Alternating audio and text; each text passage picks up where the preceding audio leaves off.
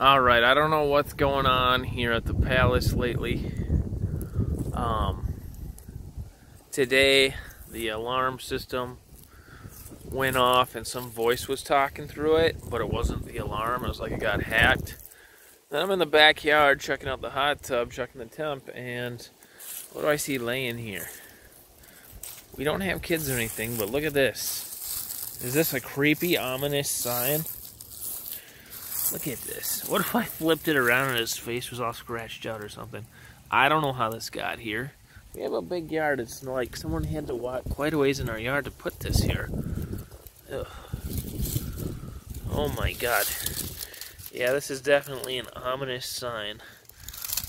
This is getting creepy. This is a creepy day, man. I don't know what's going on. Gaga go go. This is definitely haunted.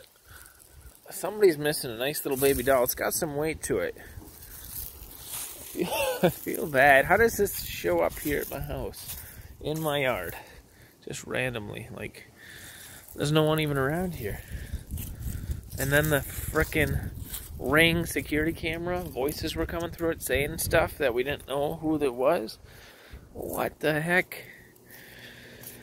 Anyway, another interesting day. About time to hop in the hot tub. It's at 104, so oh 102. I gotta get the gotta get that up to 104.